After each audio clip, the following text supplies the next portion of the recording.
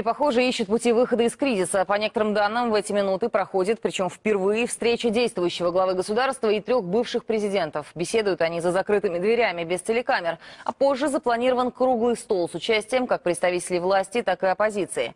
Между тем, все центральные улицы города разблокированы и очищены от баррикад, из-за которых с минувших выходных правительственный квартал был фактически парализован. Заграждения остаются только на Майдане, где остается лагерь сторонников евроинтеграции. Из Киева Александр Бутухов.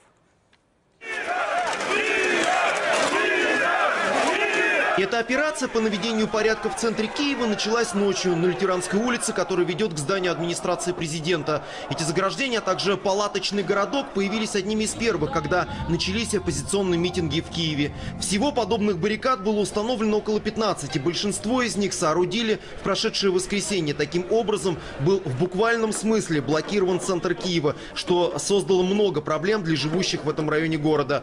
Бойцы спецподразделений Беркута и милиции, прежде чем начать начать разбор заграждений, оттеснили дежуривших здесь оппозиционеров. Операция прошла без столкновений, после чего коммунальные службы начали расчищать улицу.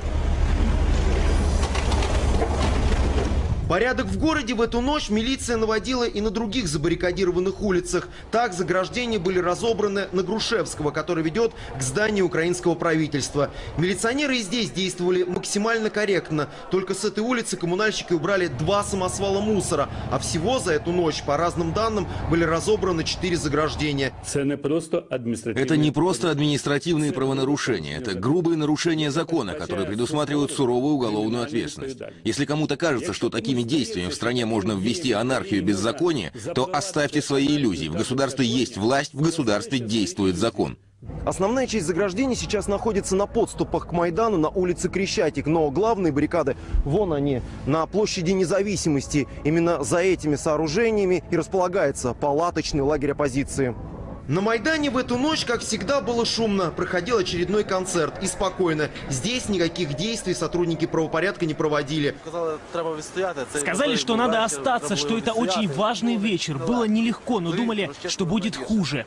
А тем временем власть ищет выход из этого кризиса. По некоторым данным, в эти минуты проходит встреча четырех президентов, действующего Виктора Януковича и бывших руководителей страны Леонида Кравчука, Леонида Кучмы и Виктора Ющенко. Эту встречу уже назвали первым шагом к организации общенационального круглого стола с участием президентов и оппозиции. Помимо этого, в Киеве ожидают визита верховного представителя ЕС по вопросам внешней политики и безопасности Кэтрин Эштон, которая намерена во время этой поездки встретиться и с руководителем руководством Украины и с представителями оппозиции. Александр Бутухов, Андрей Федоров, Евгений Иванов. Первый канал. Киев.